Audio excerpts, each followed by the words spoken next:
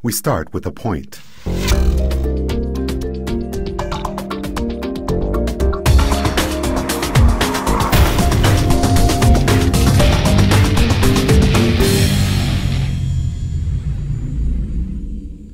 Hi, it's Rob Bryanton, and uh, this is the Imagining the 10th Dimension video blog. Today's entry is called Evolution's Fast Lane.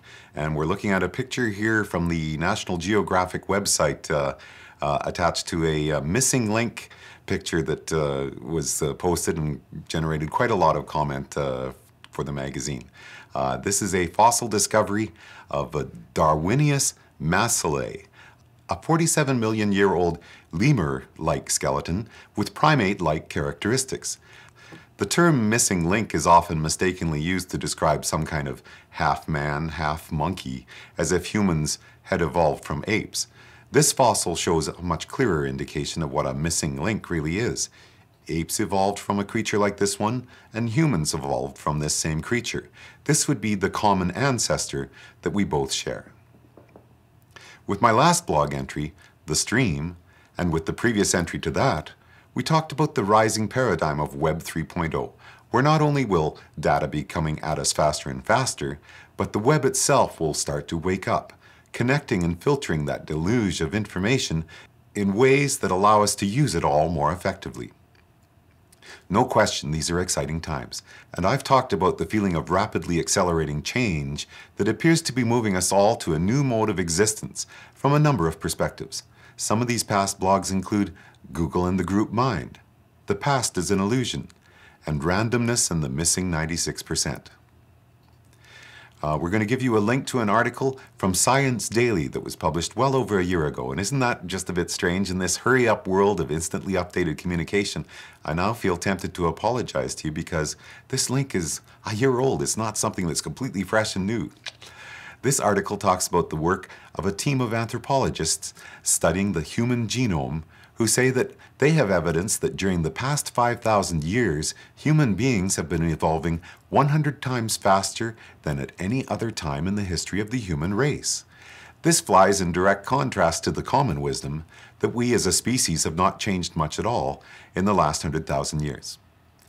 What would have caused us to change so much? There are many factors listed in their article, but all of them can be connected to how the way we live now is substantially different from our ancestors 100 or 200 generations ago. The tiny incremental changes over tens of millions of years that moved us from Darwinius masillae to Homo sapiens are now, according to this study, moving at a much faster pace since the first versions of modern civilization began to rise. Disease factors, diet, competition, all of those natural selection processes operate differently when humans are grouped together in larger and larger numbers.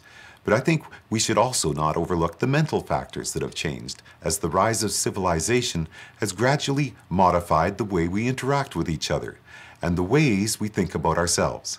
I would say this is easily connected to the science of epigenetics, which shows that not just changes in diet or lifestyle, but changes in mental attitude can actually change the way genes are expressed. I've talked about this in entries like Changing Your Genes, Changing Your Genes Part 2, You Have a Shape and a Trajectory, and The Musician. The fact that humans are changing so much ties very nicely to the general theme of accelerated change that we see in our increasingly expanding universe, in our genome, and in our technology. Are we on the verge of some kind of tipping point? More and more people seem to think that is exactly where we're headed. Uh, I'd like to remind you about a video where we've talked about a very related topic to this. It was called Google in the Group Mind, and uh, we'll put up a link for that one.